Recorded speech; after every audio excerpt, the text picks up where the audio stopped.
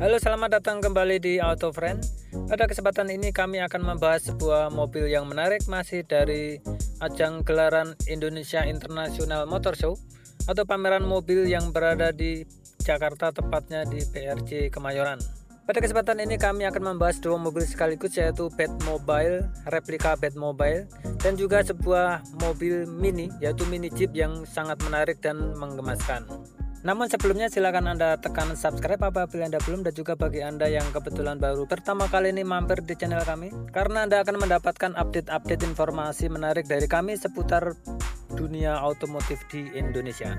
Ya, inilah dia Batmobile, yaitu sebuah mobil yang biasa digunakan oleh Batman seorang superhero fiksi dari DC Comic yang pada kesempatan kali ini sengaja didatangkan langsung oleh penyelenggara pameran untuk dapat menarik perhatian dari para pengunjung.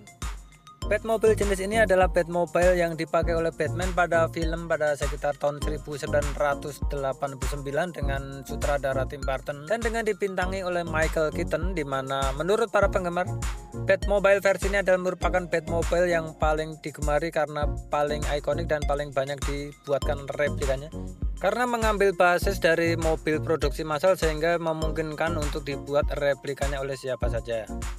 Pada versi aslinya, Batmobile ini dibangun dari sasis dan mesin Chevrolet Impala dengan mesin V8 keluaran tahun 1967 sedangkan untuk bodinya dibuat dari Chevrolet Corvette tahun 1970 sedangkan untuk turbojetnya di bagian belakang diambilkan dari mesin pesawat bermerek Rolls-Royce. Sementara hidung pengisap turbinnya diambilkan dari pesawat Harrier. Juga untuk perlengkapan persenjataannya yang dipakai di mobil ini yang bisa beraksi di film-filmnya benar-benar bisa berfungsi sebagaimana sebuah senjata. Pada versi aslinya, mobil ini mampu berakselerasi dari 0 sampai dengan 100 km per jam hanya dalam waktu 3,7 detik saja. Sementara untuk kemampuan kecepatan maksimalnya sampai dengan 500 km per jam. Bahkan mesin turbojetnya benar-benar bisa menyemburkan daya pendorong sehingga mobil ini memiliki kecepatan yang luar biasa walaupun untuk penyemburan ini hanya dibatasi dalam durasi 15 detik saja mengingat keadaan dan kapasitas dari bahan bakarnya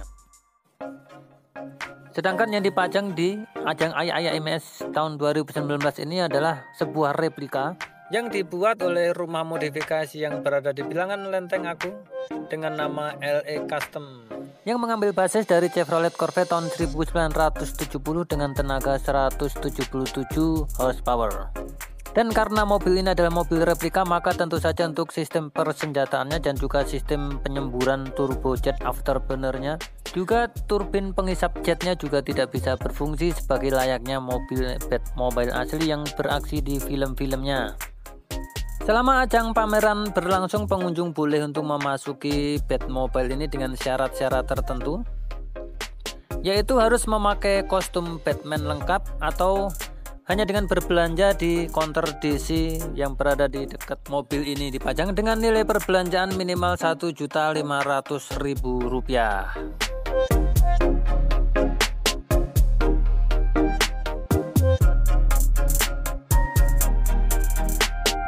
Ya inilah dia penampakan turbin jet yang bisa menyemburkan afterburner dari bagian belakang mobil ini di versi aslinya. Tentu apabila kita bayangkan akan menjadi suatu hal yang mengerikan apabila di jalan raya tiba-tiba mobil ini menyemburkan uap atau udara panas yang berasal dari turbin jet yang mungkin akan membakar apa saja yang berada di belakangnya termasuk motor-motor atau mobil-mobil di belakangnya.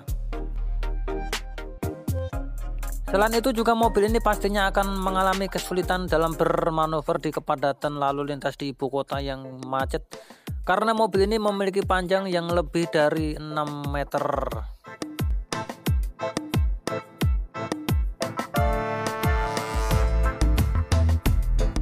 Kemudian tampak dari bagian samping ini adalah sistem persenjataannya yang pada mobil replika ini tentu saja adalah dummy atau imitasi yang tidak bisa berfungsi sebagaimana layaknya senjata tembak lengkap dengan misilnya karena merupakan suatu hal yang sangat merepotkan dan berbahaya apabila Anda jalan-jalan ke mall. Kemudian Anda diperiksa oleh bagian security dengan metal detektor tentu akan terdeteksi membawa sebuah senjata yang sangat berat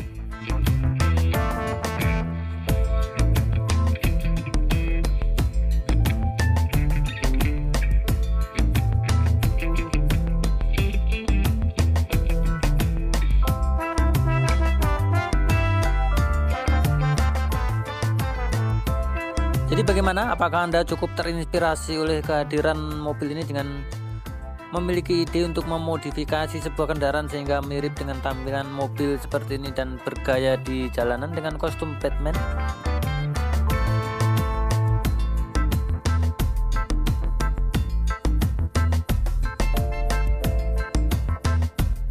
Ya kemudian mobil kedua yang akan kami bahas di sini yang tidak kalah menarik adalah sebuah mobil mini atau mobil jeep yang sangat lucu dan menggemaskan karena benar-benar berukuran kecil. Hanya dengan menggunakan mesin motor 150 cc dengan sistem perpindahan gigi ke depan tiga kali dan ada satu gigi mundur. Sistem transmisi dilakukan dengan tanpa menginjak pedal kopling. Jadi di ajang IIMS 2019 ini terdapat dua mobil sedaknya yang memiliki transmisi dengan perpindahan gigi manual tetapi tanpa menggunakan pedal kopling selain Wuling Convero ACT tentu saja ya Mobil ini dijual dari unit barunya seharga 48 juta rupiah dengan Anda melakukan pemesanan terlebih dahulu. Sedangkan untuk, untuk unit bekasnya di sini ditawarkan seharga 30 juta rupiah. Ini dia pedalnya yang terdiri dari dua pedal yaitu pedal gas dan pedal rem di mana tidak terdapat pedal kopling dengan setir yang berada di kiri. Dilengkapi pula dengan jerigen pengangkut bensin cadangan apakah benar-benar dibutuhkan atau digunakan apakah hanya sekedar untuk biar mirip seperti dengan mobil hasilnya tetapi ini semakin menambah lucu mobil ini. Demikian video kami pada kali ini, mudah-mudahan Anda terhibur dan bermanfaat. Silahkan Anda klik tombol subscribe apabila Anda belum, klik tombol like apabila Anda suka, dan berikan komentar apabila Anda memiliki sesuatu yang dapat ditambahkan pada video kali ini. Sampai jumpa pada video kami berikutnya dan terima kasih.